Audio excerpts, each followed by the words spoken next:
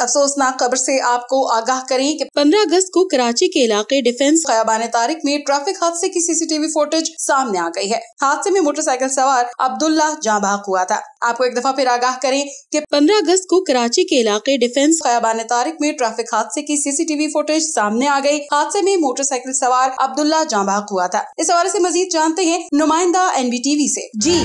जी, आपको बताते चलूँगी पंद्रह अगस्त को डिफेंस के इलाके में एक वाक्य पेश आया जहाँ पर कार सवार ने मोटरसाइकिल सवार नौजवान को टक्कर मार दी थी, जिसके नतीजे में मोटरसाइकिल सवार नौजवान मौके पर जख्मी हुआ, उसके बाद उसको अस्पताल मुंतकिल किया जाता था तो वो जख्मों की ताब न लाते हुए दम तोड़ गया। इस वाक्य की सीसीटीवी फुटेज भी सामने आ चुकी है, जिसमें देखा जा सकता है की तेज रफ्तार कार, जिसके शीशे काले है, उसने नौजवान को कुचल दिया। जराये का कहना है की जो गाड़ी है, वो एक मोमिन एजाज नामी एक खातून है, उनके नाम पर रजिस्टर्ड है, जो एक अहम शख्सियत की बेटी भी बताई जाती है। तमाम जो गाड़ी चलाने वाला शख्स है, वो मौके से फरार हो गया था। पुलिस हकाम के मुताबिक इन्होंने गाड़ी को कब्जे में लेने के बाद मुतफ़ी अब्दुल्ला के वर्षा की मुदैयत में मुकदमा दर्ज करके मुलजमान की भी तलाश शुरू कर दी है। पुलिस हकाम का मजीद ये कहना है की इन्वेस्टिगेशन की जा रही है और जल्द ही इस वाक्य के जिम्मेदार ड्राइवर की गिरफ्तारी अमल में लाई जाएगी।